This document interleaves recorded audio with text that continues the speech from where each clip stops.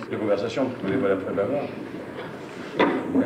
En guise de préambule, on peut dire que La cicatrice intérieure, c'est le premier film de, Philippe Garrel qui est sorti commercialement, normalement à Paris, je veux dire, dans, un cinéma où on pouvait venir le voir euh, entre 2h et minuit. Et à l'occasion de cette sortie, on a, alors moins fort. Non, parce que c'est je ne sais pas si vous vous rendez compte, mais en face de vous, moi ça, ça m'impressionne pas parce que ça fait très longtemps que je fais cette connerie-là, mais c'est très difficile de parler fort comme si on, est, faisait une conférence. Je veux dire, parce que souvent on dit des choses plus, plus violentes qu'on voudrait le dire parce qu'on élève la voix. C'est très emmerdant. Alors je, trouve que c'est plus facile de parler comme ça, une voix normale. Donc je disais que c'était La cicatrice, c'était le premier film de, de Philippe qui était sorti normalement à Paris, les autres avaient bien sûr été montrés euh, à la cinémathèque, dans, des ciné-clubs, dans des projections privées, dans des choses comme ça, mais c'était. Aucun de ces films est encore sorti à ce moment-là. Il y a eu, il y a eu un accueil de la critique, on peut dire, on peut dire assez, assez fantastique, assez, assez bon, et, aussi du public en fait. le film a eu près de 20 000 spectateurs à Paris, ce qui, ce qui n'est pas si mal. Beaucoup en ont moins. Et à l'occasion de cette ressortie, on, a fait, on avait fait une ressortie de, Marie pour mémoire et du Lit de la Vierge, je crois. Hein, C'était ça, non? Les deux. Voilà. Alors depuis, bah, vous verrez les films après. la copie est en mauvais état Oui.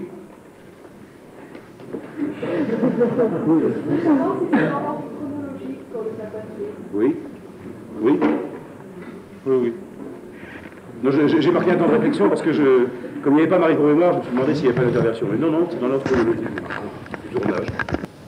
Oui, ça, c'est quelque chose que j'avais pompé sur Godard, je veux dire, qui n'était pas réellement euh, inventé par moi.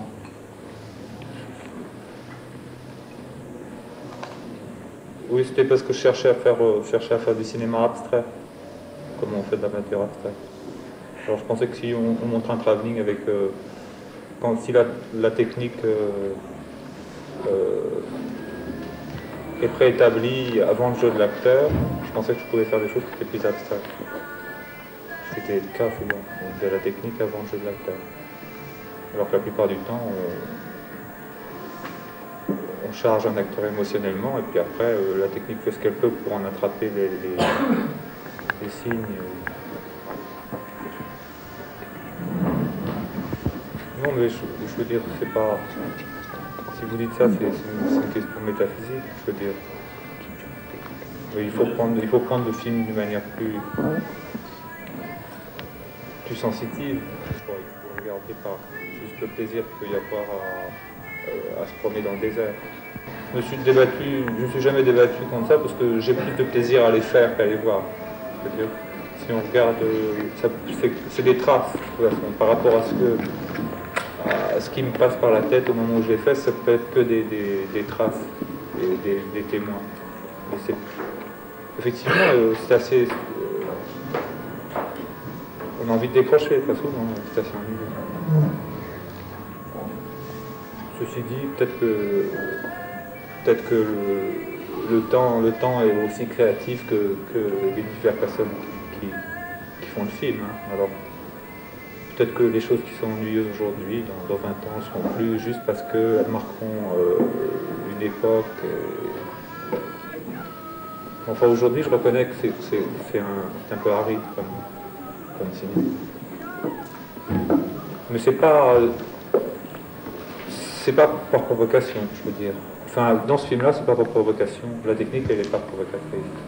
C'est parce que je pensais, par exemple, qu'il y a un type en Amérique qui faisait des choses, euh, euh, des, des, sculptures dans la nature, comme ça, il allait sur une plage, il faisait, euh, il dessinait je sais pas, des, signes immenses, et la sculpture, on pouvait la voir d'avion, parce qu'elle était trop étendue, donc à la Union, on ne pouvait pas la voir. Alors, euh, à l'époque où j'ai fait ça, c'était un, peu, un peu dans ce même genre d'idée, c'est-à-dire, euh, si on regarde l'installation du plan lui-même, c'était aussi important que le plan pour moi. C'est-à-dire, si on regarde euh, le, matériel déchargé, le chariot de travelling posé et le, dessin qu'effectuait le travelling, c'était aussi important pour moi que ce qui était blanc. Alors évidemment, ça, il en reste des traces. Hein. Il n'y a pas de, Non, mais de toute façon, c'est sûr la technique n'est pas innocente. toute façon, c'est sûr. Même la pellicule, à partir du moment où on utilise de la pellicule Kodak, couleur, c'est pas innocent. C'est déjà. Euh, c'est déjà une société et, un système. Idem pour les, moyens techniques. Oui, on travaillait sur place là. Et on se retrouvait euh, avec les acteurs et les techniciens, on se retrouvait dans un endroit et puis on faisait. Euh, on travaillait assez longtemps, on, tournait un plan par jour et puis. Mais tout ça a été fait sur place, je veux dire. Nico écrivait ses textes, ça aussi sur place, au, plan après plan. Et puis euh, les techniciens construisaient une machinerie et puis. Puis même ce que euh, Clémenti, par exemple, c'est lui qui a voulu jouer nu. Je veux dire, enfin, c'est quand même un travail de groupe. Hein. Est-ce que tu avais, toi, une vision générale, disons, tu voyais à peu près le produit fini, ou est-ce que c'est vraiment au montage après que tu vas y avoir Moi, j'avais envie de travailler comme j'avais un ami peintre, et euh, il faisait de la peinture psychédélique, comme ça, très, très dépouillée, et en même temps. Euh, avec une ancienne méthode, ça s'appelle la tempéra, c'est une méthode de la Renaissance qui, qui, est complètement classique, enfin où il faut mettre, euh, pour obtenir la chair, il faut mettre euh, un vert, un rouge superposé et, un blanc et ensuite marquer les ombres, etc. Et euh, j'avais vécu près de lui pendant, pendant un an, alors ça m'avait relativement influencé. Alors je travaillais par rapport à la peinture, c'est-à-dire j'avais envie simplement euh, de, faire des choses qui soient picturales. Mais je savais, j'avais pas de, je veux dire, j'étais relativement dans, l'abstrait parce que j'avais pas de, scénario. comme si on travaille sur une œuvre pendant euh, deux ans de suite sans avoir de scénario, c'est relativement difficile parce qu'on ne sait plus où on est euh, complètement dérisoire dans ses choix ou dans sa volonté, ou où on est l'essentiel. C'est-à-dire, euh, c'est très difficile de, garder la relativité, c'est-à-dire euh, d'être conséquent, de faire des choses conséquentes. On ne sait plus si on travaille sur des choses qui se voient même plus, ou sur des choses qui sont les premières choses qui, sautent à l'esprit. Mais il n'y avait pas tous. J'ai toujours fait un cinéma improvisé, j'ai jamais fait un cinéma. Ça aussi, ça vient de Godard, ça, le fait de faire un cinéma improvisé.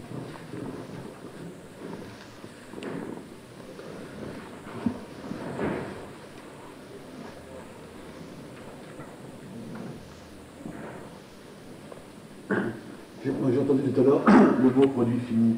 Est-ce que c'est. Enfin, moi, c'est un mot qui me choque un peu, quand même beaucoup, parce que souvent, si je pense que ces films m'intéressent beaucoup, c'est parce que je les considère tout comme des produits finis c'est une idée violente.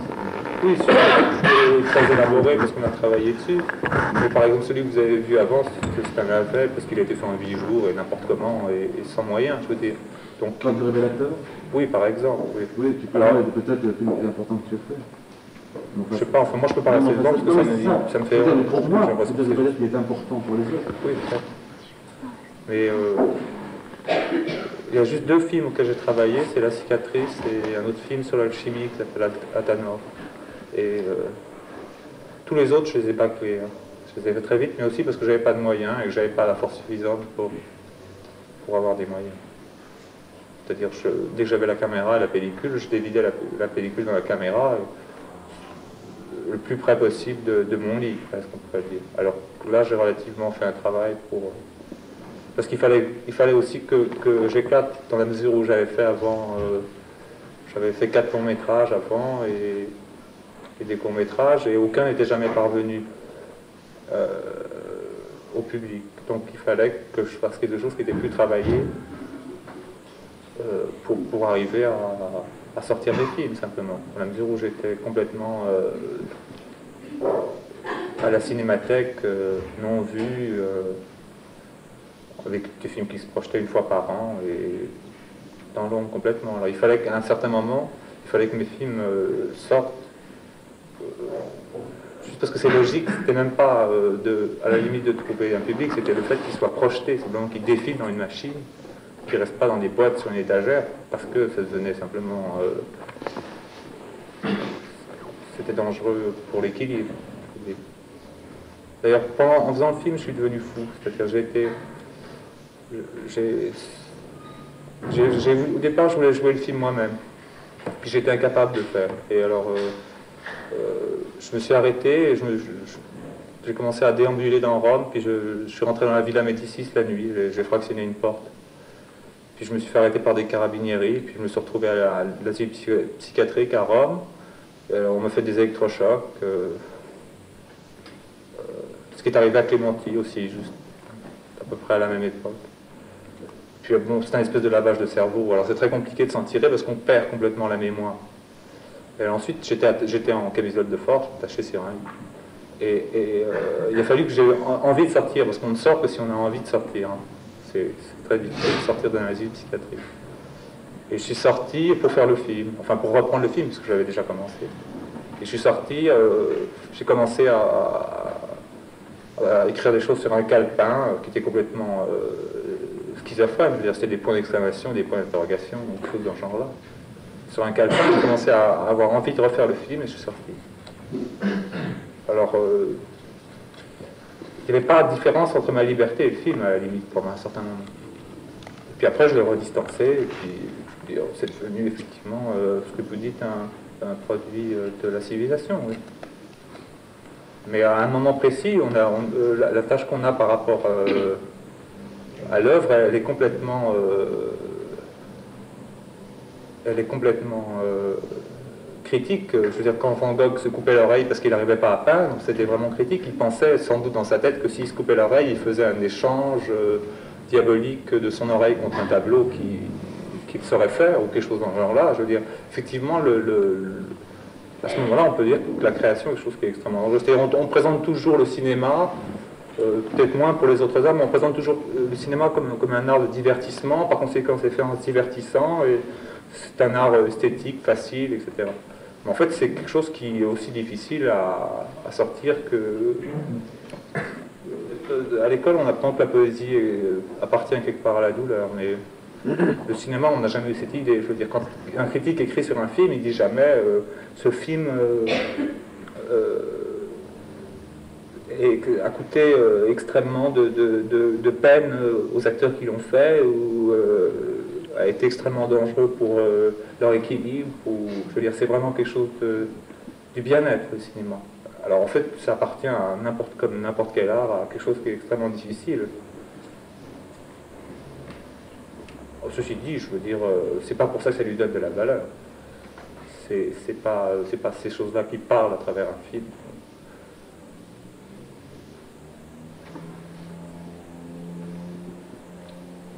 Si par exemple il y a ça dans le film de Wells, quand, vous le verrez, il y a ça dans le film de Wells qui vient de faire, il y a, une espèce de, Il se prend dans les machines, il se filme lui-même en train de monter un film, et puis la pellicule casse tout le temps. Ça, ça arrive tout le temps, par exemple. La pellicule, casse au montage.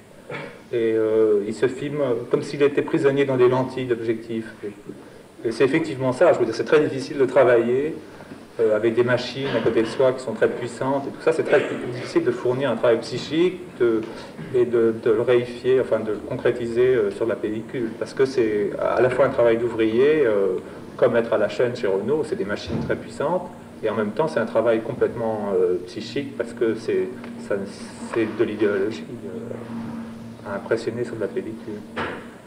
Alors effectivement, ça c'est un problème qui, qui va venir à mon avis, à la surface petit à petit, c'est le, fait que euh, tourner avec une caméra, c'est très difficile au niveau physique simplement au départ. C'est-à-dire c'est comme travailler euh, à la chaîne. Alors avoir envie de dire quelque chose en plus du fait de simplement d'arriver à faire tourner la caméra, c'est déjà, euh, déjà très ambitieux. Comment vous vivez la caméra par exemple? Quel est votre rapport avec la caméra? Enfin, c'est pas un rapport bah, à cette époque-là, j'avais des techniciens. il y a plusieurs caméramans qui, ont fait le film, qui ont changé le tournage. Parce que je me disputais avec eux à mesure, parce que c'est dans la mesure où il faut vivre très très près du caméraman tout le temps. Euh, je veux dire, au bout d'un moment, comme j'ai assez peu d'homosexualité en moi. Je veux dire, je les, les supportais plus simplement. Alors bon. Mais alors depuis euh, deux films maintenant, je me suis mis à la caméra moi-même. Mais je sais pas le faire. Alors c'est assez, assez euh, dé- désastreux techniquement. Ça vous verrez ce soir s'il y en a qui viennent voir les films ce soir. Mais en même temps, j'aime mieux ça parce que ça me laisse plus de liberté. Je suis avec des gens par affinité élective, quand, quand on choisit des gens pour tourner avec, et je suis plus avec eux pour des raisons de pratique simplement. Puis en même temps, maintenant, je m'aperçois que tenir la caméra moi-même, c'est en même temps euh, quelque part aussi comme euh, avoir un bras en fer. C'est aussi une prothèse, ça, tient de l'horreur. C'est ce que Wells explique. Alors, je ne sais pas la solution. Il faudrait peut-être que la caméra travaille seule. Peut-être on va aller vers des, caméras téléguidées qui travailleront seules. Peut-être. Dans la mesure où c'est effectivement euh, des machines. Mais vous pensez donc que le cinéma, c'est la dernière plage de votre liberté? Ah oui, oui, au sens où, au sens où j'en fais parce que je suis un paranoïaque, que j'ai besoin d'avoir une raison sociale. Oui. À ce titre-là, je veux dire, si je me fais arrêter par, euh, dans la rue euh, euh, à Paris, ce qui arrive des fois, je veux dire, je, dis cinéma, cinéma, tout de suite, je veux dire, c'est une espèce de, paravent derrière, derrière lequel je m'abrite. Mais pour vous faire le film, par exemple, le premier de l'après-midi, c'est pas seulement une confession de votre problème, mais aussi euh, un moyen pour euh, les lire euh, mieux, pour les voir mieux, pour les Oui, oui, comprendre. ça c'est plus les acteurs. Les acteurs disent ça toujours, c'est qu'ils ont, ils- au moment où ils voient les, les rushs, ils ont une espèce de prise de conscience de qu'ils ce qu'ils sont, qu'ils ne pourraient jamais avoir. Alors que euh, à la mise en scène, euh, au moment où la scène se joue, alors, on a déjà, euh, elle émet déjà des signes hein, et des significations. Alors au moment où la scène se joue, donc par rapport par- de toute façon, tous les metteurs en scène, ils sont toujours angoissés pour des détails. Ils sont jamais, ils parlent jamais du gros de, l'œuvre parce que c'est ça ils ont l'impression que quelque part ils savent de quoi faire tour. Ils sont toujours angoissés parce qu'ils ont peur que que la lumière soit pas bonne ou que leur accord soit pas bon ou qu'on voit tel ou tel trucage. je veux dire, ils sont toujours à côté du problème. Ça c'est évident. Mais sans doute les peintres aussi, si vous parlez avec des peintres, par exemple, ils vous diront toujours il y a un endroit de leur tableau où ça se passe mal et où ils se plantent et où ils refont trois fois la même chose. Euh, Nous, si on se met devant le tableau, on ne le voit pas, je veux dire, parce que c'est vraiment euh, un problème de type obsessionnel. Et nous, on, on ne perçoit pas là où eux pensent qu'il y a une espèce de faute ou une espèce de chose qui, les- euh, qui leur déchire le cœur et ils remettent sans arrêt quelque chose pour essayer de, de- de- meubler cet endroit. Au cinéma, c'est pareil, on est toujours à côté du problème. On se préoccupe toujours de quelque chose qui n'est pas euh, ce- qui vous est évident à vous au moment où vous voyez. Bien sûr, oui. C'était en, c'était en juin 68, alors, euh, alors l'économie française ne tournait plus du tout, donc il fallait, on a été en Allemagne, on était à Munich, on s'est débrouillé pour trouver une caméra allemande, et euh, euh, on a tourné avec très peu de pellicules, et on n'avait pas de son. euh, c'était uniquement une contrainte économique, c'est parce que le film avait, a été fait avec rien, il n'avait pas de producteur. on a tourné très vite, on a tourné en 8 jours. Mais peut-être dans ces cas-là, on devrait s'abstenir de tourner, parce qu'effectivement, je pense qu'on fait des- vraiment euh, entre ça et, la réflexion sur l'image blanche, il n'y a pas grande différence. Peut-être que l'image blanche est, plus riche de, sens que, ça. Enfin, moi, quand je les revois maintenant, euh, je ne peux pas rester dans la salle, je veux dire, ça me fait, ça me fait honte. Ceci dit, c'est, quelque chose qui est. je, je crois que c'est inutile. Là, on devrait s'empêcher de tourner. Mais comme de toute façon, il faut tourner, euh, si on veut tourner tout le temps, il faut tourner quels que soient les moyens. Alors, il faut tourner quand on n'a pas d'argent, comme quand on en, comme quand on en trouve. Et le plus souvent, on est, obligé de faire des films comme ça, qui sont, qui sont ce qu'ils peuvent être et pas autre chose. Est-ce que tu es satisfait d'un de tes films? Parce qu'on a rapporté schizophrénique avec tout ce que tu fais. Non, bah, non, non. Je- non, je les aime pas tellement, on va dire. C'est-à-dire, euh, ils me servent juste par rapport euh, au fait qu'à telle époque de ma vie, euh, j'étais fiancé avec telle personne, alors je peux, ça me fait un souvenir, je veux dire, mais euh, au niveau de... Ça pourrait marcher aussi bien avec n'importe quelle caméra 8 mm. Mais le reste, ça me- personnellement, ça me dérange plutôt vous êtes à l'époque-là Je sais pas, tous ces films sont bien. Non, c'est sûr, il y a plus de rapport entre la drogue. Je veux dire, Godard, il a dit, euh, euh, pourquoi on lui a demandé pourquoi vous voulez pas prendre du LSD. Il a dit, je, je préfère planer en regardant les posters. J'ai dit, bon, mais moi je vais prendre le LSD sur le plateau. C'est tout ce que j'ai fait. Non, mais là, il ne faut, pas, il faut pas non plus dévier mon propos. euh, je veux dire par là que. Non, au sens que je suis pas un cinéaste politique, je suis un cinéaste drogué, c'est vrai. Au nom de la lutte des classes. que- Salut. Oui.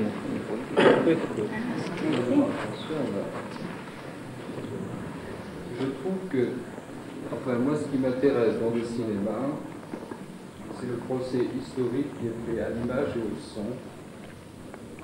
Euh, là, à mon avis, l'image ici, dans ce film, euh, c'est tout un, une répétition de l'image sans cesse.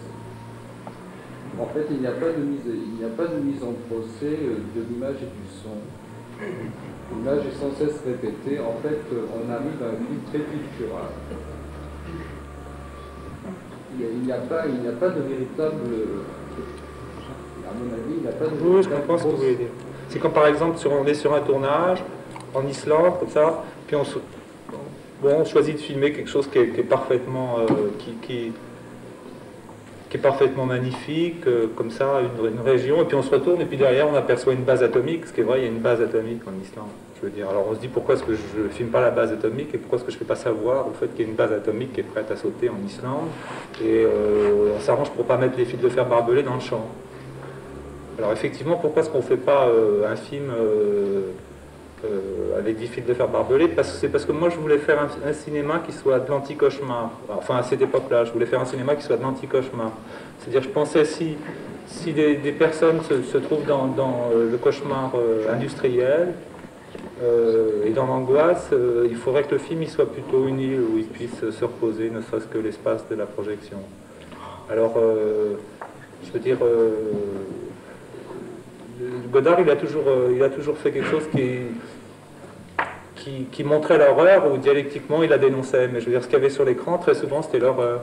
Je veux dire, même quand il fait, il fait euh, ces films dont vous parlez, par exemple. Non, moi, ce que je voulais dire, c'est que Godard, il essaye de faire un cinéma révolutionnaire.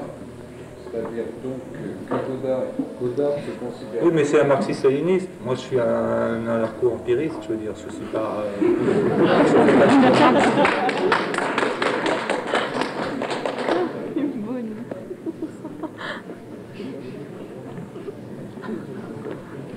Et moi, j'ai pas d'éducation politique.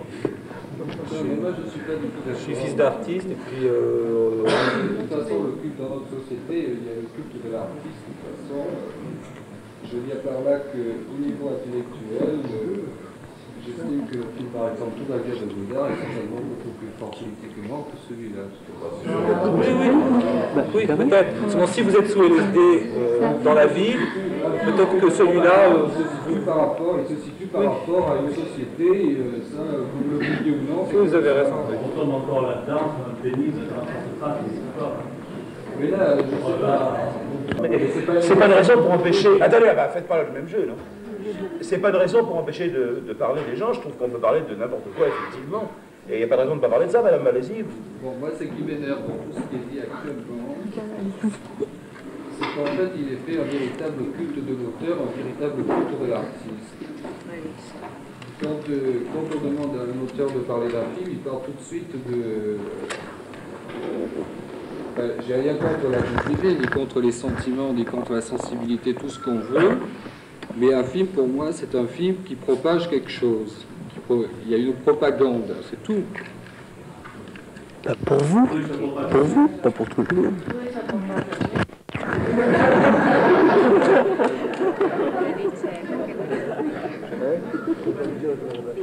Oui, mais par exemple, si, par exemple, vous dites, vous dites tout va bien, par exemple.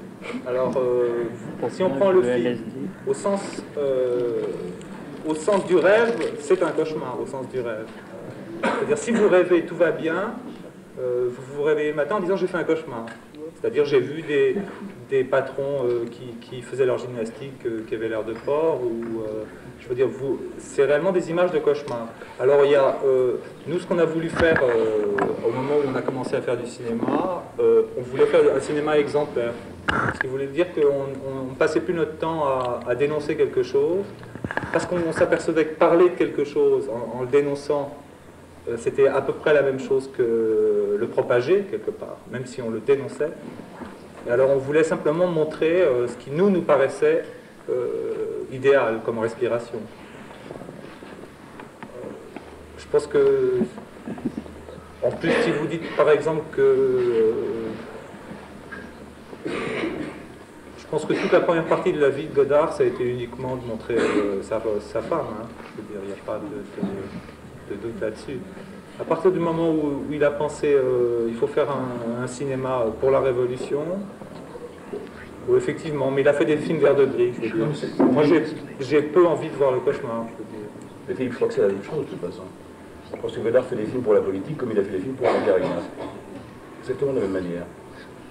Oui, en plus. En plus, oui. Mais moi, je voudrais vous poser une question, si vous permettez. Je voudrais vous demander ce que vous attendez d'un metteur en scène. Bon, il est présent. Vous pouvez mettre en question le fait qu'on invite qu'il soit... Non, non, mais laissez-moi finir. Vous êtes agaçant. hein. Bon. Je veux dire, un metteur en scène est présent. On peut remettre en question le fait de l'intérêt même de sa présence ou pas. Bon, à partir du moment où il est présent, de quoi voulez-vous qu'il vous parle d'autre que de l'intérêt qu'il avait de faire ses films et de, et de ce qu'il ressent par rapport à ses films Je veux dire, il ne peut pas vous dire autre chose. Alors, euh, ça c'est intéressant ou ça ne l'est pas. Si c'est pas intéressant, vous partez, je veux dire, c'est pas grave. On n'envoie personne de partir. Mais à partir du moment où on accepte une discussion, il faut l'accepter pour connaître le centre d'intérêt même qui, anime celui qui est, qui est le créateur. Je m'excuse, vous, vous avez parlé de la déification des artistes ou quelque chose comme ça. Euh, je dis le créateur, c'est un- c'est lui effectivement qui a créé les choses, donc je l'appelle comme ça. Or, il me semble assez passionnant de savoir quelles sont les motivations de ce créateur, simplement. Euh, les motivations euh, collent avec ce que vous en pensez, ou ne collent pas avec ce que vous en pensez, et puis c'est tout. Il n'y a pas de morale à en tirer. Non, mais je. Avec le rêve euh, qu'avec la lutte des classes, euh, c'est peut-être parce que euh, je, trouve, je trouve Freud aussi intéressant que Marx, par exemple, déjà. Ce que je veux dire, de toute façon, quand je parle d'hostilité, je, ne pas- je euh, je ne le place pas euh, particulièrement par rapport à vous.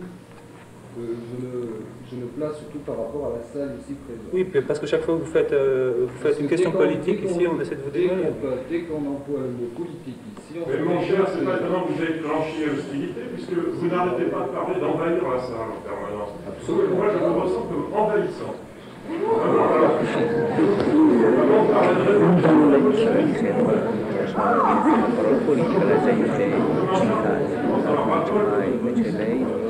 de une caractéristique très particulière de, de- de l'audience française, c'est, le fait de, à partir du moment où on n'est pas d'accord avec quelqu'un, de, de s'affronter immédiatement avec je quelqu'un. vous écouter les Rolling Stones, c'est, bien de- d'entendre des opinions qui sont manière marxiste, c'est complètement nul. C'est un espèce de, de- d'apologée de, de l'arrivisme individuel. Pour, je parle du dernier disque.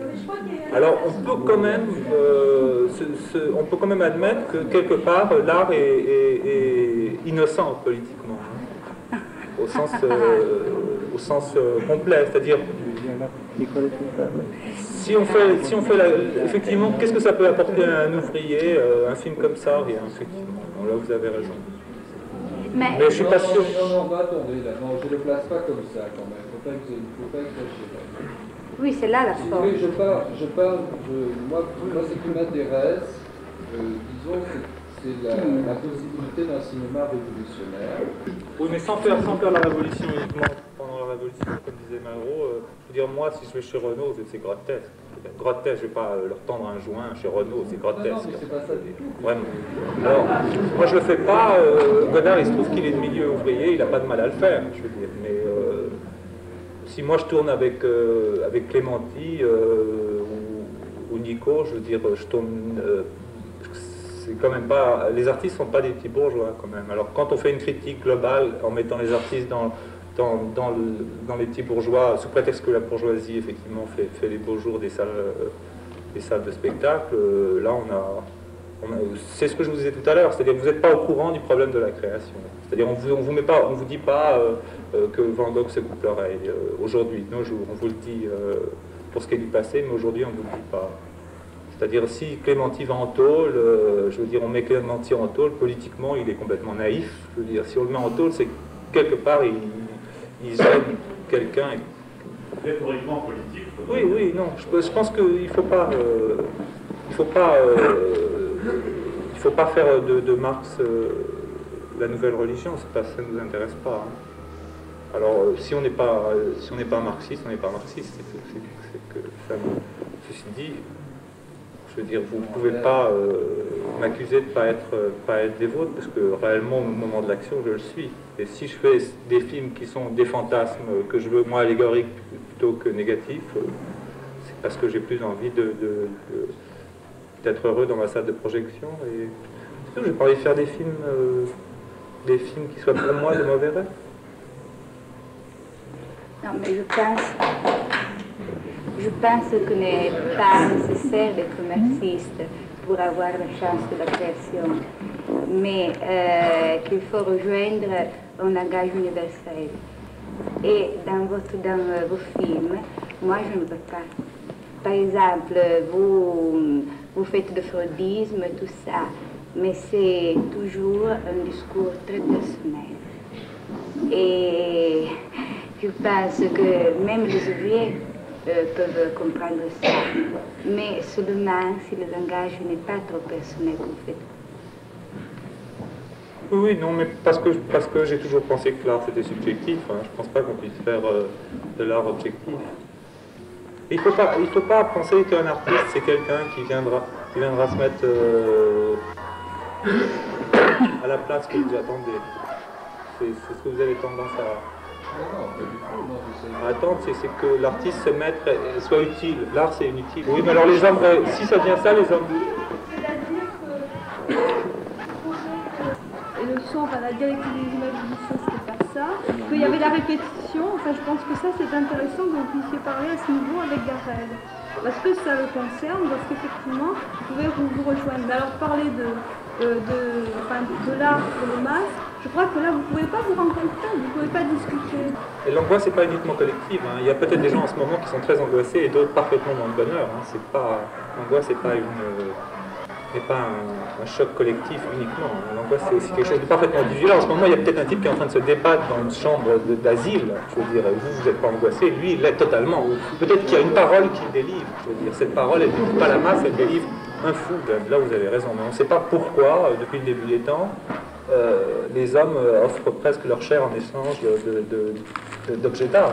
Mais ça, c'est un fait réel qui fait que les hommes sont prêts à, faire un- à marchander leur, leur, euh, leur vie contre des objets d'art. Je sais pas, est-ce que ça fait vraiment partie de, de votre corps Non, plus maintenant, plus maintenant, donc, je vois manière complètement détachée, mais au moment où je le fais, je ne suis pas détaché. C'est-à-dire, euh, réellement, ça. euh, je, peux, je peux me fâcher avec, avec tout mon entourage pour avoir un beau plan, ou, ou je peux être totalement tyrannique pour en obtenir un autre. Je veux dire, Je euh, vous depuis tout à l'heure, il semblait que le, que le film, de vous-même. Enfin, oui, mais ça se détache après. Dans le temps, dans le temps où on le fait, oui.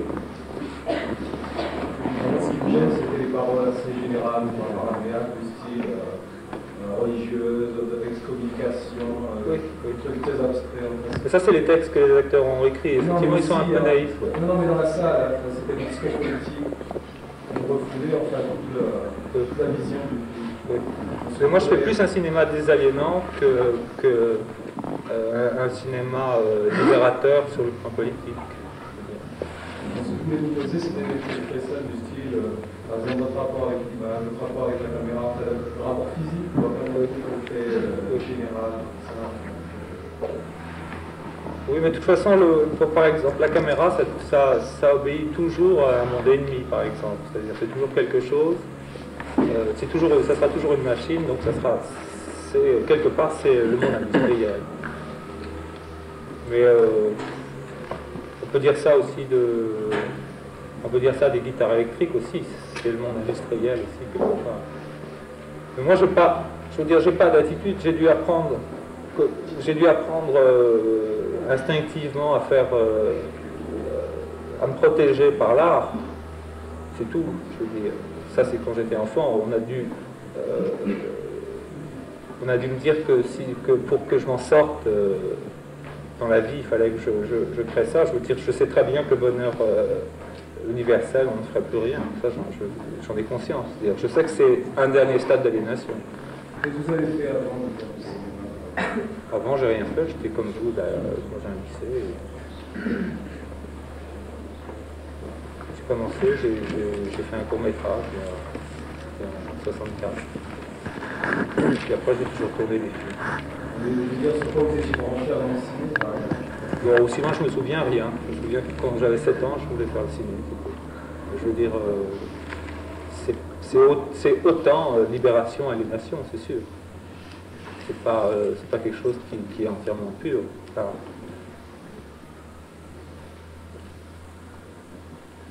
Non, mais je crois que peut-être, euh, par exemple, euh, vous tenez ce discours, euh, spécialement vous, peut-être en ce moment, peut-être parce que vous avez tendance à, à- à entendre parler des artistes par les médias, et les médias, ils déforment beaucoup, hein, je veux dire. Ils déforment beaucoup ce qu'est la vie d'un artiste. C'est-à-dire que vous voyez l'artiste au moment où il est triomphant, il vient de finir son film, il est très content, mais vous ne voyez pas l'artiste euh, à l'œuvre avec la matière, il se bat exactement comme les autres. De toute façon, moi, j'ai pas, j'ai pris de toute façon, j'ai affaire avec les autres. Oui. Non, mais je sais bien que personne est, est- innocent pour ce qui est de... ce que je voulais dire aussi, c'est que finalement, euh, alors qu'on se trouve dans une société où on lutte de plus en plus contre la famille, contre la religion, je trouve qu'en fait, c'est un film qui, euh, qui, au, départ, euh, euh, essaye quand même de mettre d'une certaine manière à procès la famille. En fait, on, on- on tombe, je crois qu'on tombe deux fois plus dans la religion euh, avec ce genre de film. La mystique de l'art, vous voulez dire? Ouais, oui, exactement. Oui. Mais vaut mieux cette mystique-là que, que, que moi, euh, je dirais la mystique politique ou la mystique... euh,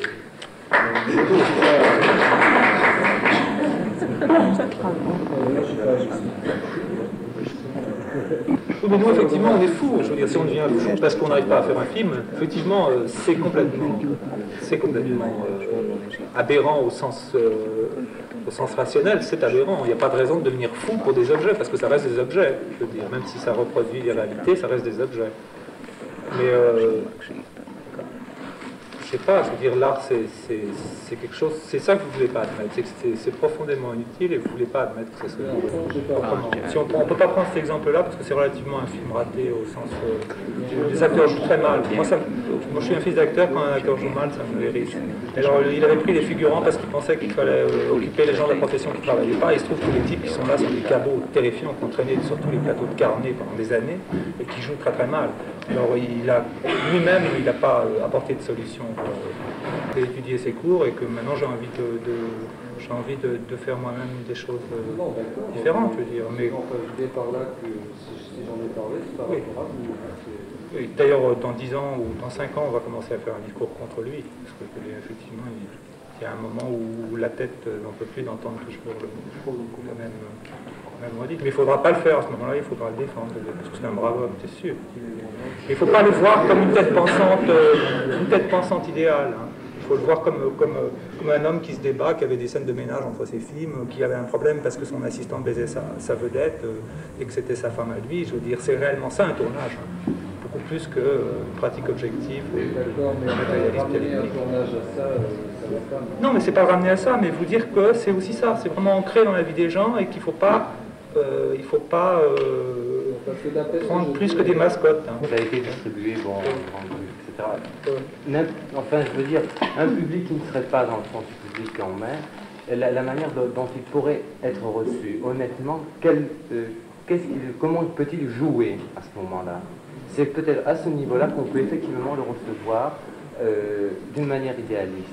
C'est-à-dire que nous, nous avons d'accord la chance de vous entendre, d'entendre aussi votre discours euh, par rapport au film. Bon, euh, discours que je trouve très honnête d'ailleurs, pour ma part. C'est-à-dire que je ne suis quand même pas à tricher. Non, mais forcément, je veux dire, il ne faut pas euh, non plus.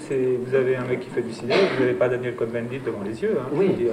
Si vous tenez un, un discours de, Non, mais- de comment est-ce qu'on va arriver à l'Élysée, je vous dirais, moi je vous lâcherai avant, parce que ça ne me branche pas tellement d'aller euh, m'asseoir sur le bureau de je Euh, Lui, il vous dira, il n'y a que ça qui m'intéresse.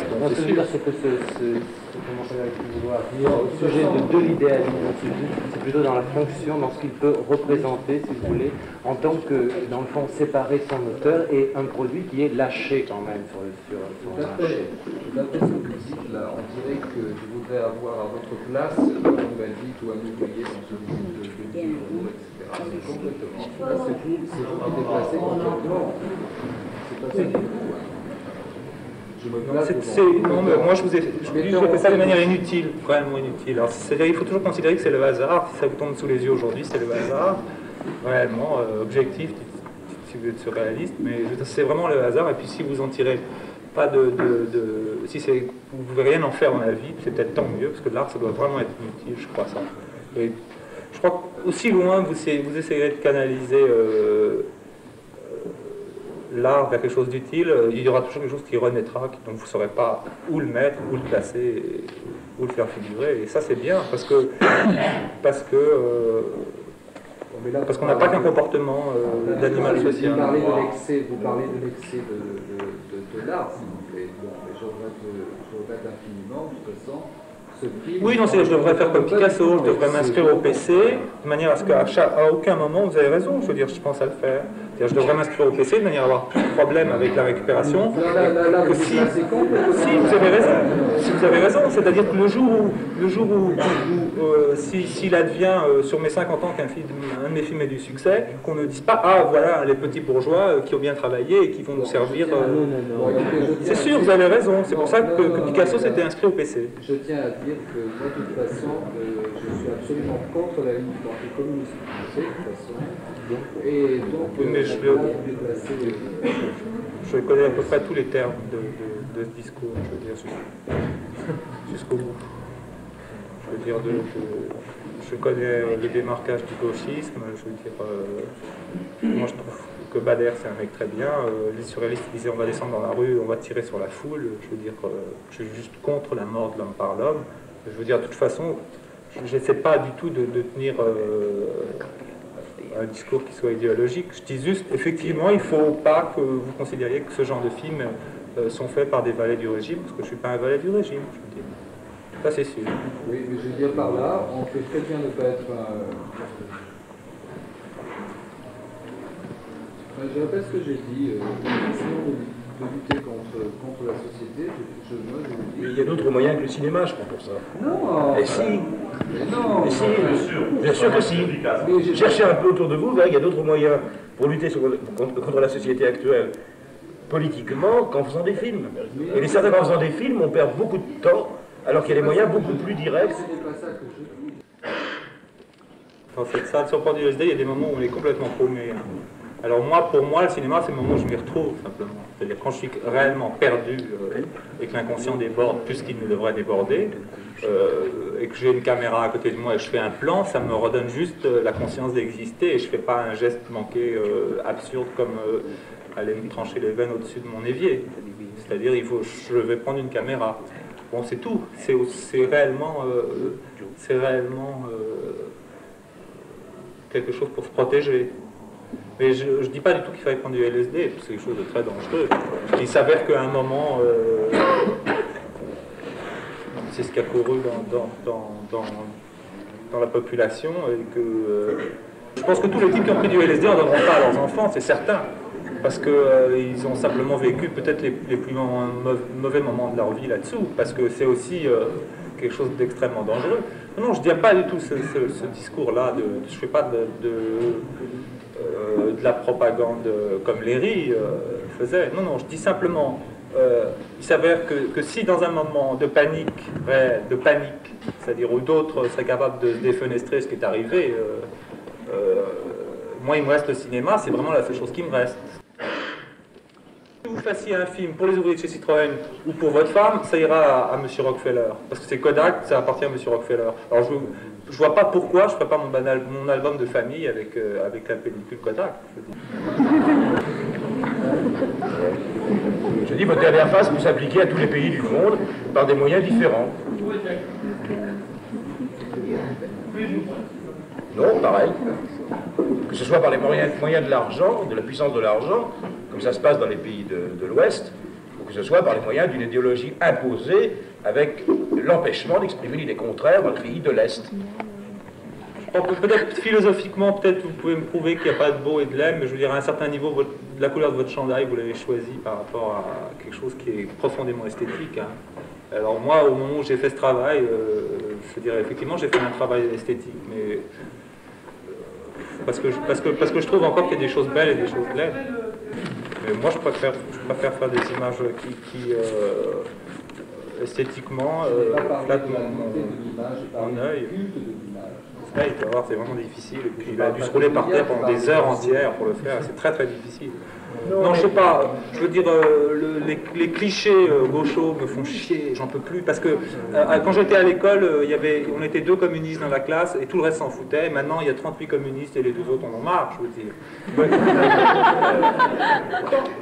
Si je souhaite vraiment l'insurrection ou la grève générale, comme toi, je veux dire, mais c'est pas le dialogue euh, euh, néo-improvisé euh, gauchiste qui, qui mènera quelque part. Ça m'emmerde de m'opposer à toi, mais reconnais une chose quand même, c'est que dans cette salle, manifestement, il y a 38 communistes qui emmerdent les deux autres. De toute façon, la révolution, c'est euh, voilà, c'est encore en- une phrase du dialogue improvisé, gauchiste. euh. Ouais, Il y a un truc qu'il faudrait peut-être qu'on avoue tous, c'est qu'ici, on est venu voir des films de Garel, dont je crois que l'essentiel des gens de cette salle, quelles que soient leurs options politiques, sont d'abord des petits bourgeois. On est tous des petits bourgeois, je crois.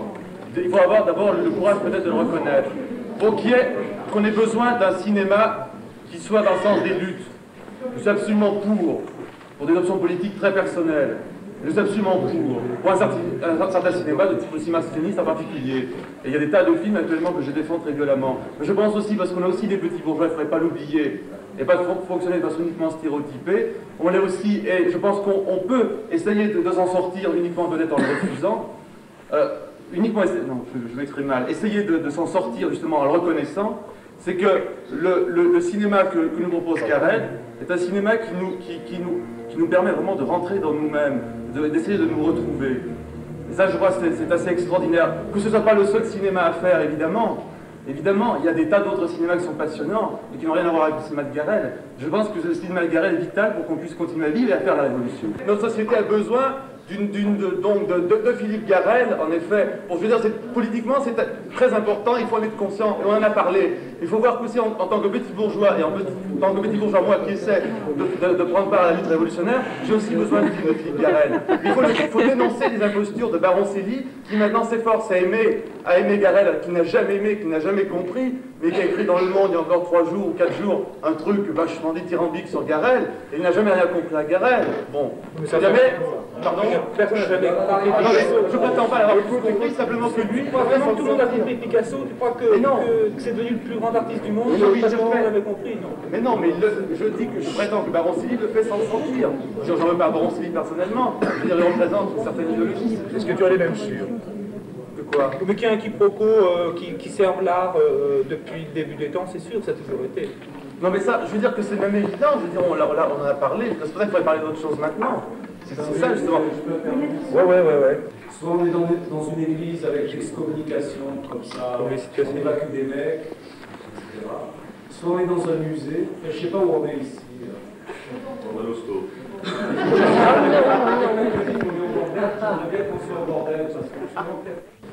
on retombe toujours dans les petites histoires de famille en fait. Avec euh, Papa la loi mort, c'est-à-dire Staline, Mao, Lénine, n'importe qui, enfin Freud, qui est là, la loi du père, le père mort, hein. Il y a sa loi laissé l'état de la loi. Et puis euh, les, petits, les petits chants, là, les petits euh, épisodes comme ça, qui balancent là, comme ça. Ça, euh, c'est-à-dire le problème. Peut-être c'est difficile de parler au public. C'est bien que quand on parle au public, on ne sait pas à qui on parle, on parle à l'inconnu, on parle au vide, on parle à l'écran. C'est peut-être ça qui se joue. On parle au papa mort. Alors je ne sais pas. Alors peut-être comment c'est possible ici, maintenant, comment c'est possible de parler d'une façon subjective et d'une façon qui intègre le plaisir, sans que le plaisir soit enfin, quelque chose de coupable. C'est-à-dire, bon, euh, si ça vous arrive de bander devant une image, dire, bon, mais si je bande, c'est, pas bien. Mais j'ai complètement, euh, je suis complètement euh, lucide à ce propos. Je sais que c'est névrotique, mais de toute façon, l'art est toujours névrotique. C'est- C'est aussi euh, euh, c'est aussi ce qu'on ne peut pas s'empêcher de faire, quelque part. Ce n'est pas ce qu'on a choisi de faire. Parce que, effectivement, si on n'a pas eu une caméra, on pense qu'on choisit comme si on est, euh, on est dans une soirée, écroulé, défoncé, on pensait, bon, je vais faire un film, ce sera comme ça, et ce sera vraiment planant et tout. Et quand on, est devant une caméra, je vous dis, à côté d'une caméra, les, problèmes, ils sont vraiment pratiques. Mais c'est normal que ce soit plus éloigné de vos préoccupations. Je veux dire, je n'ai pas essayé de faire, euh, d'innover ou...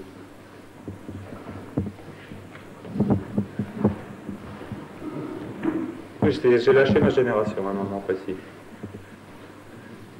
C'est parce que je me suis fait, euh, anecdotiquement, je me suis casser la gueule dans la rue par des types qui avaient, qui avaient mon âge. Ils étaient sains. Et ça m'a complètement euh, retourné intérieurement. Je me suis dit que c'était complètement aberrant. Effectivement, euh, s'il n'y avait pas une génération meilleure que l'autre.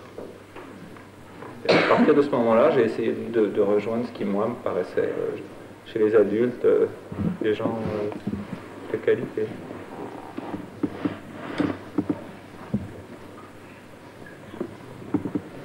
De toute façon, c'est sûr, quand on a 18 ans, on croit que sa génération est, est meilleure que la précédente. C'est une psychose euh, habituelle.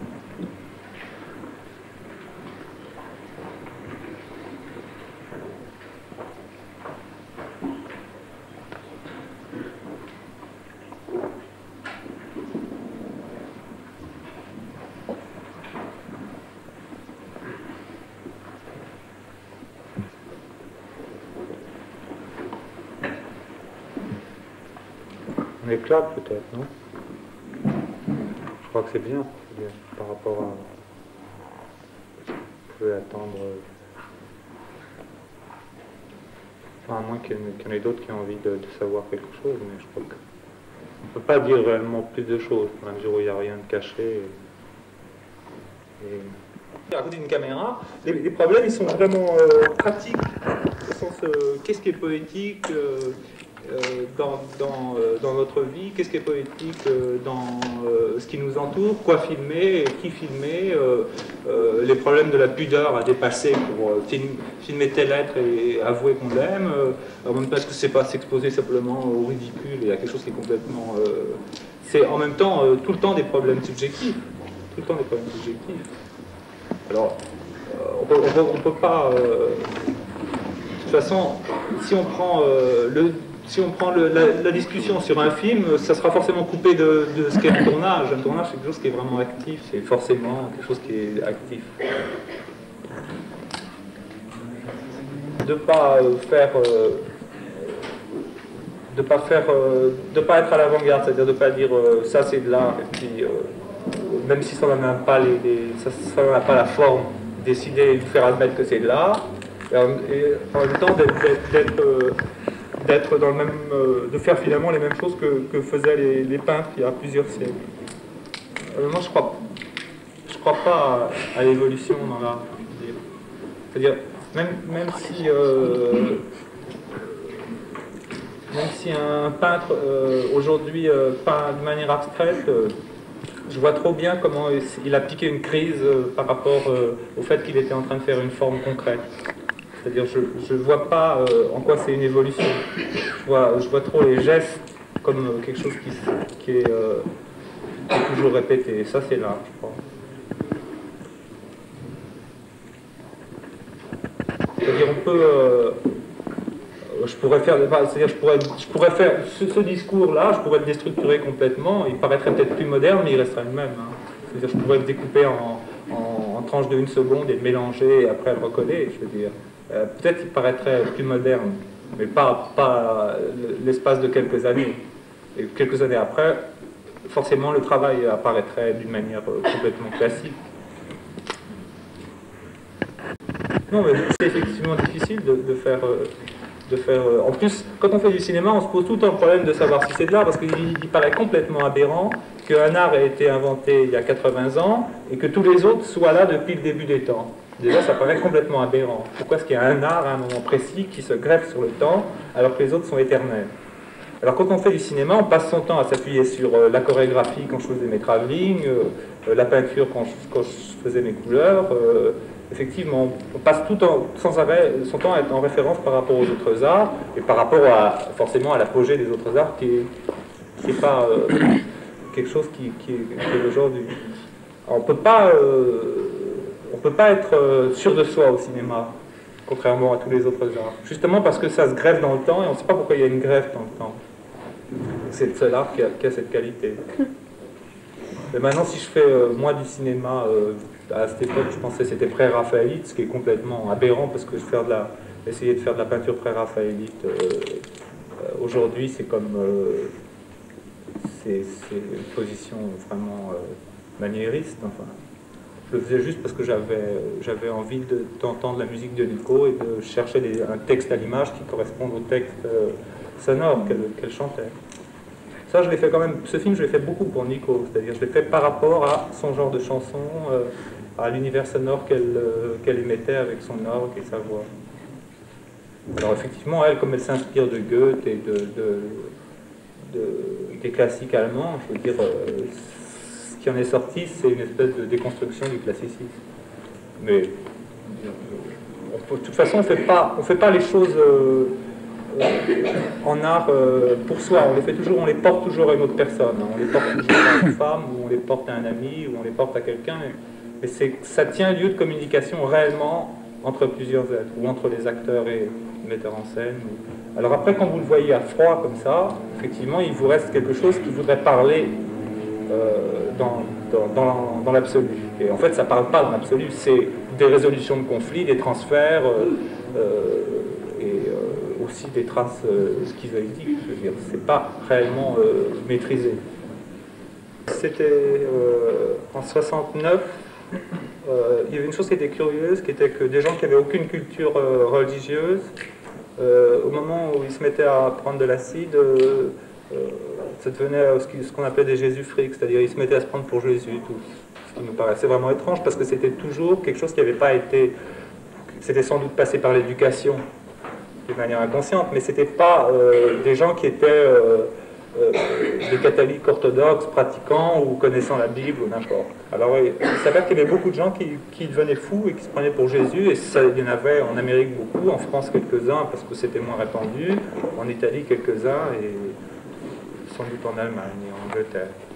Alors moi j'ai voulu faire un film là-dessus, c'est-à-dire comment est-ce qu'on pouvait, euh, euh, d'une euh, une religion qui a été incurgitée comme ça pendant des, des, siècles et des siècles, comment est-ce qu'elle pouvait, comment est-ce qu'on pouvait essayer de la vomir, comment est-ce qu'on pouvait vomir la religion d'une manière qui soit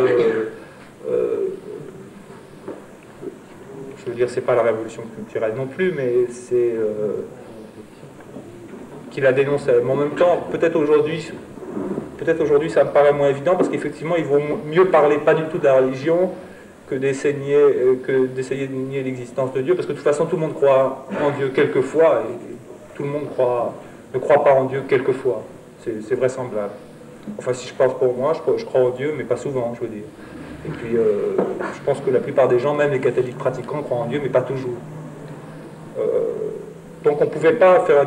Enfin, à l'époque, on essayait de faire un discours qui, qui, euh, était scandaleux, entre guillemets, c'est-à-dire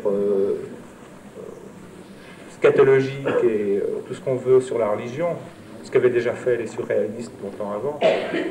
Puis bon, finalement, ce qui reste, c'est aussi du travail de missionnaire, donc c'est aberrant, il ne fallait pas le faire peut-être.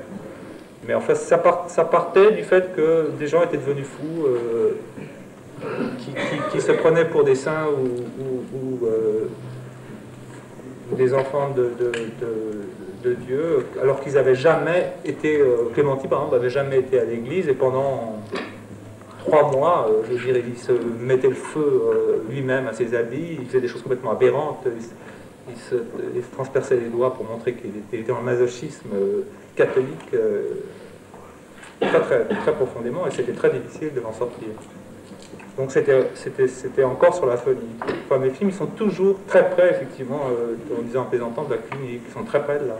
Ils cherchent, euh, ils cherchent euh, à, Ils s'appuient sur, sur, le, sur le, des instants de, malheur et quelque part, ils cherchent à, fabriquer une rampe pour, pour s'accrocher.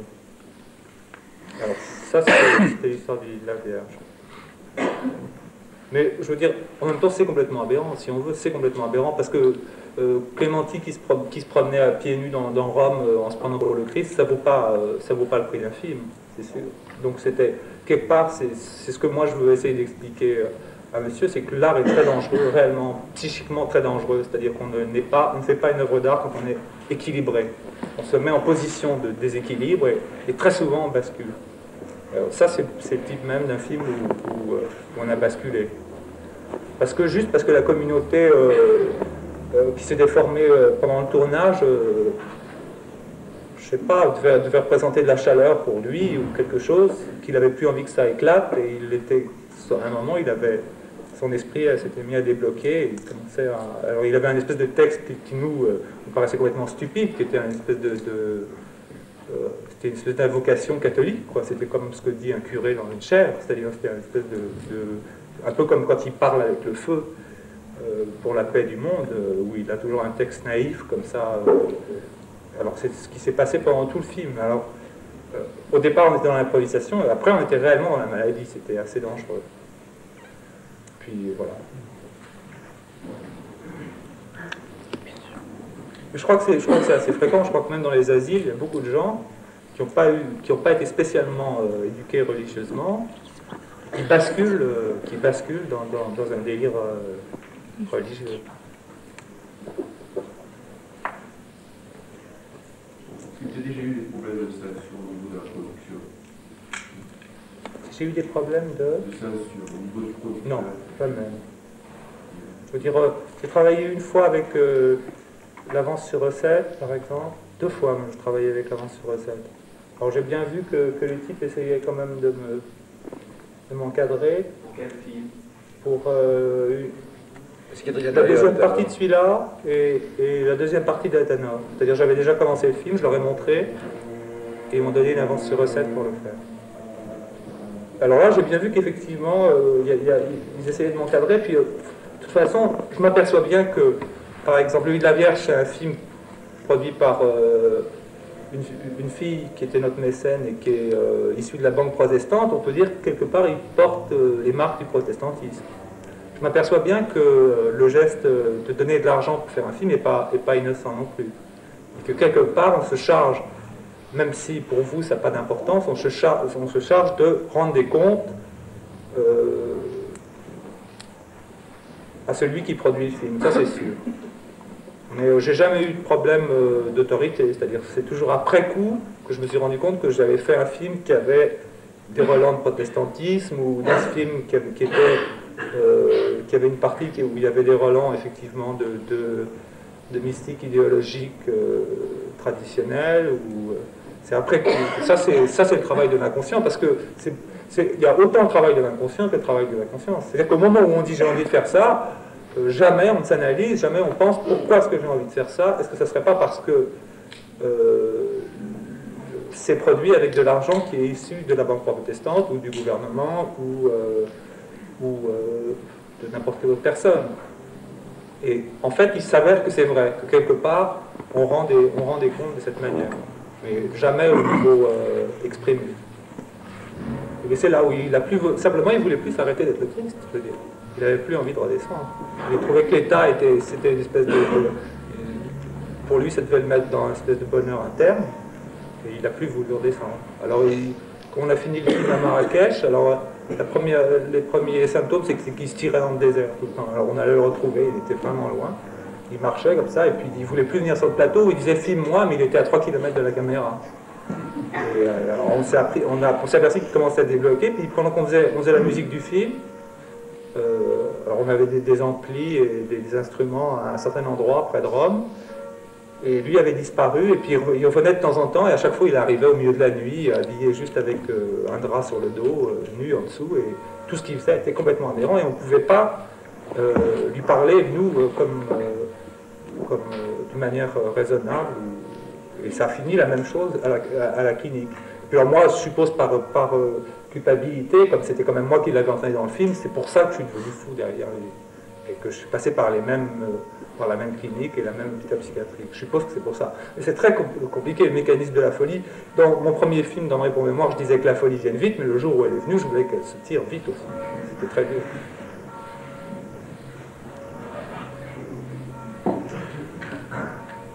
Non, la folie, c'est la, c'est pas du tout la, c'est pas du tout euh, heureux, c'est complètement masochiste, je veux dire, c'est autodestruction.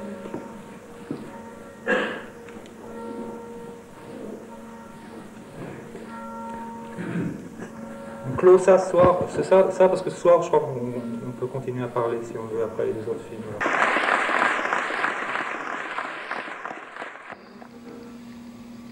Tu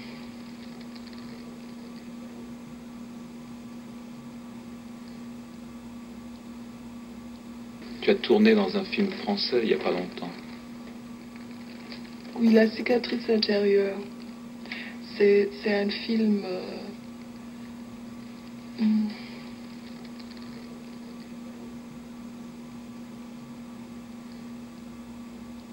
C'est un film psychologique euh, en même temps que,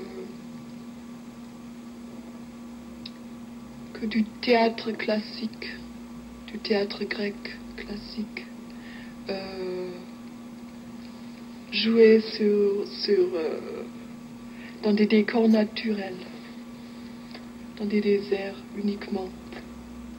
Qui est le réalisateur de, de ce film, le metteur en scène de La cicatrice intérieure? C'est un jeune metteur en scène euh, français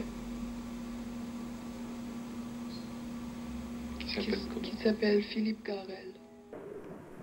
De, de ma génération parce que j'ai à un moment j'ai- constaté que ma génération valait la génération précédente. C'est-à-dire qu'il y avait des, gens qui étaient euh, euh, profondément respectables et qui avaient pareil euh, des gens sous intérêt. Alors effectivement ce ne sont plus des films de génération.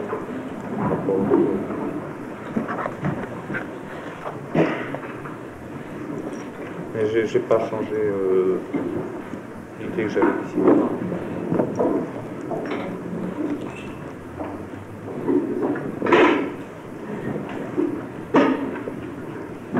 Mais peut-être c'est moi j'aime mieux que ce soit vous qui, me dirigiez dans, dans ce qui, vous intéresse. Parce que, je veux dire, moi j'ai rien à dire, je dis tout dans mes films.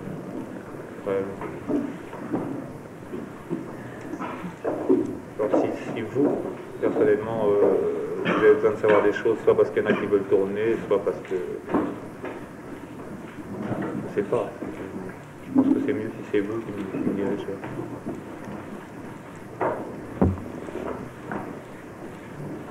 Mais d'ailleurs, c'est assez étonnant que, que, par exemple, dans un endroit comme ici, vous n'ayez pas de caméra pour tourner. Ça paraît assez aberrant, le fait de, de rester euh, théorique. Parce que si vous aviez une caméra, même si vous tourniez euh, des bouts de film, je pense que ce serait plus, intéressant pour vous, peut-être plus exaltant. C'est ce qu'ils ont tendance à faire maintenant dans les universités américaines, c'est-à-dire faire des unités de production euh, pour chaque université. Euh, Là, il s'avère que les, gens font rien parce que les étudiants américains, ils sont, ils sont, ils sont encore plus théoriques et autocritiques que nous, c'est-à-dire ils, en sont, ah, ils sont restés au stade de projet. Enfin, il s'avère qu'à un moment précis, s'ils ont envie d'aller tourner, ils peuvent, se mettre à tourner. Peut-être peut on verra naître de, de l'université américaine des films qui sont différents euh, des films qu'on voit jusqu'à maintenant. Ceci dit, je pense que ça va s'implanter aussi en France, le fait de faire du cinéma à l'université ou dans les lycées.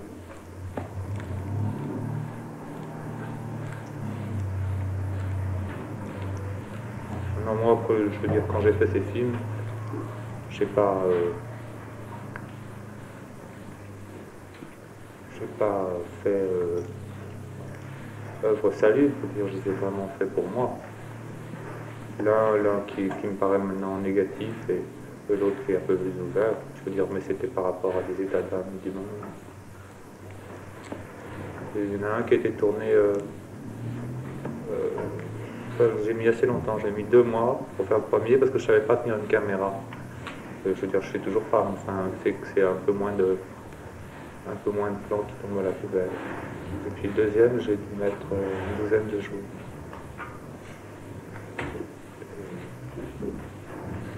Le profitais pas beaucoup des acteurs, sinon que j'étais comme moi-même, j'étais un des personnages dans, le, dans le lieu du tournage. Dans la mesure où j'avais beaucoup de choses à faire pratiques, comme charger la caméra, m'occuper du fait que ça s'impressionnait sur la pellicule, j'étais un des éléments, mais ce quand même des films... euh, par exemple, dans le festival, les acteurs improvisaient leurs textes, ou dans le précédent, les acteurs demandaient tel genre de plan ou tel genre de plan. Euh, là, par exemple, j'entendais même pas ce qu'il racontait. Je l'ai entendu qu'après au montage, parce que j'étais... euh, j'ai une caméra qui fait beaucoup de bruit. Enfin, la caméra avec laquelle je travaillais, elle n'est pas à moi, mais elle fait beaucoup de bruit. Alors j'étais obligé de me mettre très loin tout le temps, euh, avec, un téléobjectif. Alors j'entendais pas ce qu'il disait, il y avait un micro, pas deux. Et après, moi, je réécoutais les bandes, puis on discutait sur les bandes par rapport à ce qu'il fallait garder, ou c'était moins intéressant. Enfin, c'est quand même euh, encore très... C'est comme... C'est des esquisses, je peux dire. Parce que j'ai envie de faire un film euh, moi-même à l'image qui, qui soit plus, euh, plus rigide que ça. C'est comme des fusains. Si je faisais des fusains, je pensais que je faisais des fusains, comme les peintres quand ils font des fusains.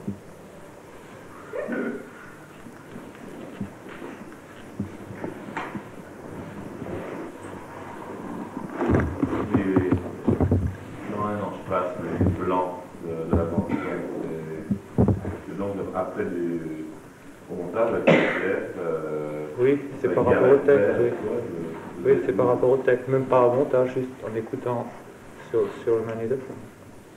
Par rapport au fait qu'il fallait quand même les défendre. Si on se met à improviser, je veux dire, personne n'est brillant. Est-ce que- Euh, alors il fallait les défendre. Ça servait juste à les défendre. C'est-à-dire qu'au moment où ça devenait éparse ou simplement anecdotique, on supprimait la bande. Mais il y a- on ne faisait jamais deux fois le plan, ou, je veux dire, c'est vraiment un film qui, puis il est à peu près monté dans l'ordre. Et c'est un film qui est, qui, qui est à peu près comme il sort de la caméra.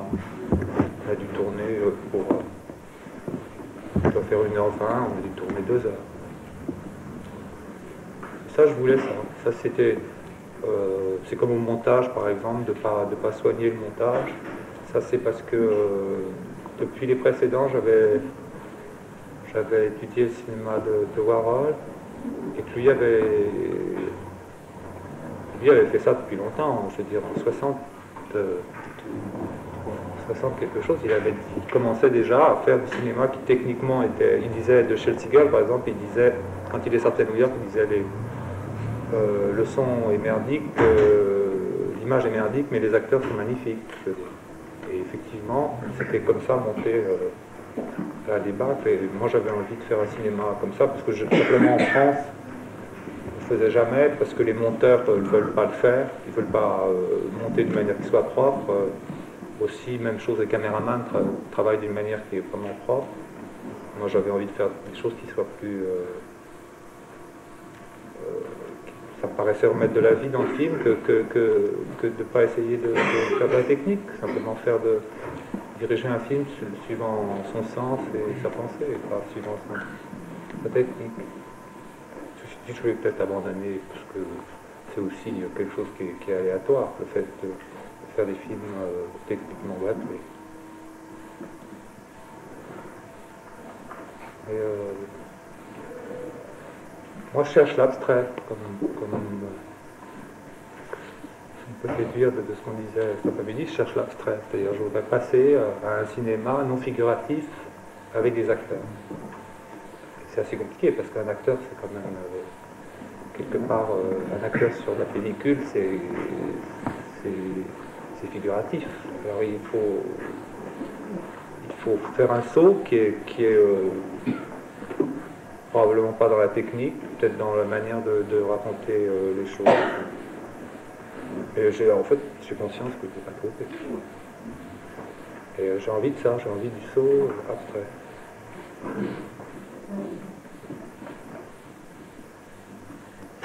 J'ai aussi envie, et ça peut-être on le sent dans le film de temps en temps, j'ai envie que les choses soient plus, émotives, soient moins, euh, métaphysiques.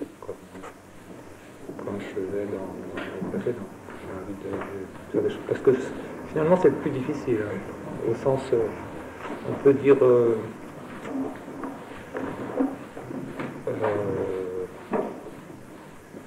le, plus difficile, c'est de faire un film euh, qui, fait, qui fait pleurer. Enfin, qui vous touche suffisamment pour que vous soyez bouleversé. Ça, c'est le plus difficile.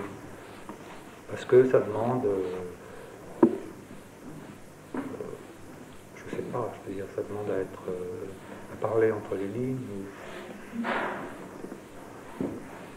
Ça, ça m'intéresse plus maintenant. Si je pouvais faire un film qui soit à la fois émotionnel et abstrait, je crois, je crois que c'est.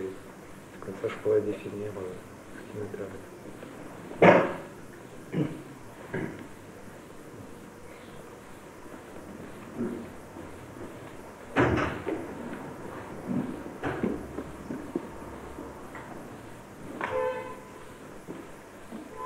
Peut-être dans cela, peut-être plus euh, que sur les autres, comme il n'y a pas d'esthétique, euh, peut-être on peut dire qu'ils sont, ils implicitement, euh, implicitement, ils appartiennent, euh, ils appartiennent à une classe plus que les autres. Mais c'est pas explicite, c'est implicite. Aussi, euh, on, cet on cherchait ce qu'il y avait une, en fait, s'il y avait une technique de classe, presque. Si une, si une certaine technique appartenait à une certaine classe.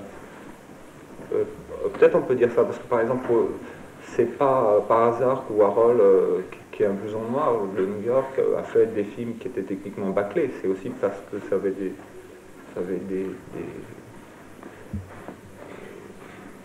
des, vertus de scandale à New York à une certaine époque aussi, par rapport au cinéma traditionnel américain. Ceci dit,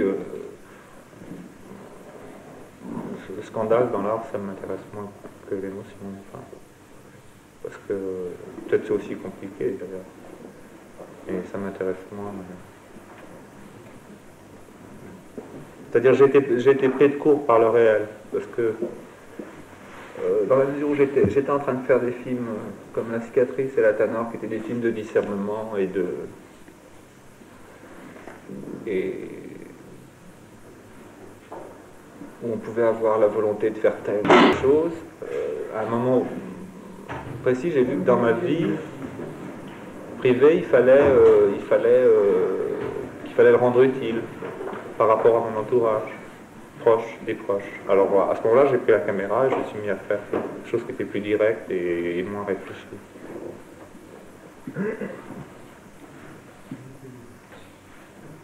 Je veux dire, euh, n'importe lequel de- d'entre vous ferait des choses identiques s'il se mettait à filmer les gens qui l'entourent. Sens où il suffit de- d'en rendre compte, il suffit de rendre compte des passions qu'il y a autour de soi, et des amitiés qui se nouent, et, des amours qui se cristallisent ou qui se, qui se défont. Ça n'a pas d'autre vertu que celle de, de- la vie quotidienne. Ce que je trouve, ce que je trouve frappant dans, dans les deux derniers films, c'est ce retour au, au quotidien. Je veux dire que. Je veux dire, c'est- J'exprime très mal ce que je veux dire, mais c'est un retour, je trouve, violent au quotidien et, et presque obsessionnel, je trouve, et, et, et un quotidien qui, est, qui est évidemment. euh, et qui pour moi, je ressens comme, comme, comme extrêmement sordide. Et la façon dont, dont, dont tous ces acteurs d'une génération sont montrés, en particulier dans le dernier, pour moi extrêmement déprimante. Oui, oui, c'est des pessimistes, oui. Oui, et je pense que ce que, ce que, ce que, ce que tu avais dit tout à l'heure, euh, enfin, en particulier quand on parlait de cicatrices, quand tu essayais de faire des films qui, essayaient de retrouver un certain contraire d'univers de, de de- Oui, ils ne sont pas des films exemplaires, oui. Ce sont des films de constat. Oui. Et...